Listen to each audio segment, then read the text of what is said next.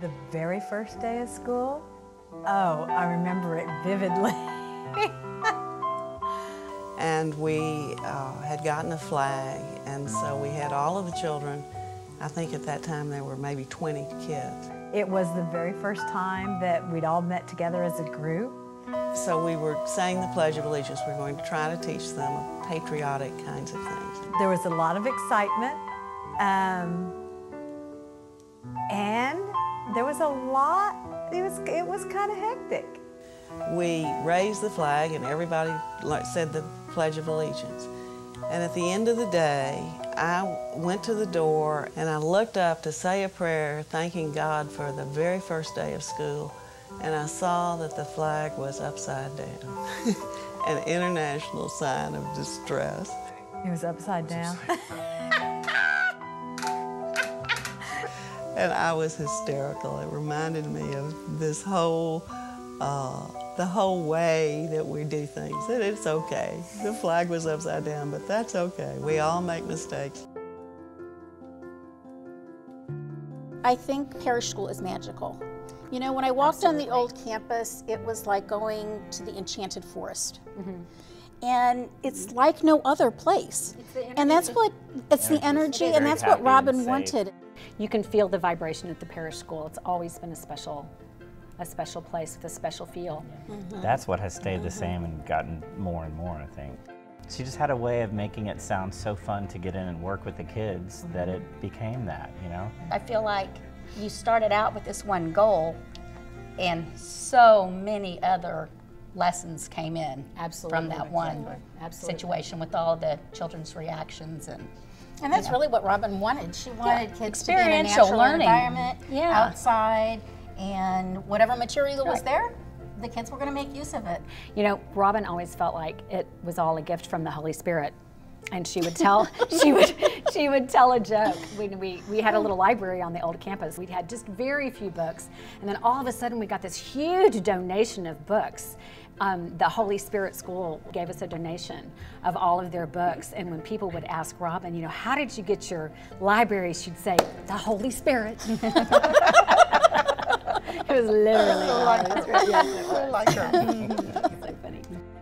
I think one of the coolest things that Robbin said when I was interviewing with her on the old campus in her office, which used to be a bedroom, I assume. The sliding glass, glass doors that looked out onto the playground. Yeah. And I'll never forget, she looked at me and she kind of swiveled around in her chair and she, and she pointed to her sliding glass doors.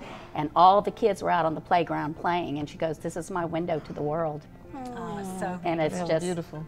Stuck with me ever since. There's so many miracles that happen at parish school. I saw it happen. You see it from the beginning, and you see it at the end, and it's just it's mind blowing. We come onto this campus. The construction, you know, just lends itself to this place of hope and comfort and security and safety mm-hmm. and collaboration and just all the most wonderful things. You know what they want. used to say back on the old campus that parish school was a place where angels were helping angels. Mm-hmm. And that's so sweet because that's that's still true today.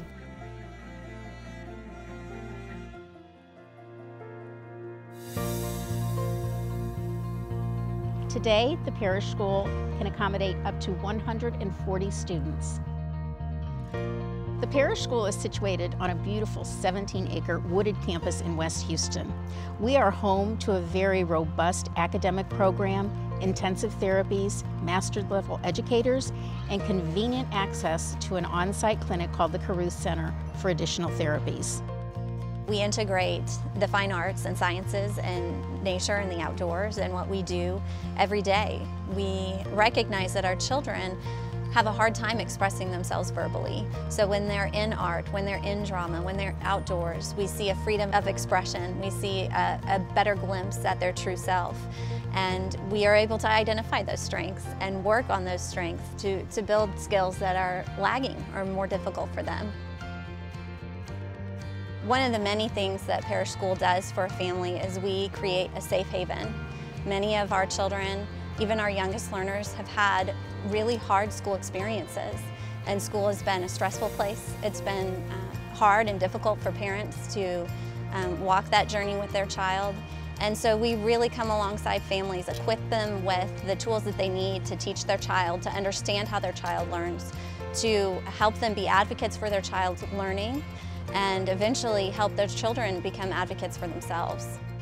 So if my wife Terry was here, she would tell you that Parish helped Anna and it saved her.